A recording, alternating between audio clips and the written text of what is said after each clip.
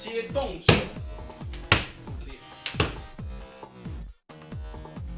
上来，我接到，然后做动作，然后棒，这个在实战当中不合理。不合理的理由是什么？就是对手不会一拳上来，然后让你这样一，然后二，然后三，然后这样子去做动作。如果今天你把它想象成是自然流畅，就是你在练习的时候，你就让它自然的流畅的练，这样子是绝对可以产生效果。接这个动作的时候，我不要停止，我是把这个动作过去，直接接二，然后这个手继续走这个动作。所以它的原理，如果你分解来看，像是一。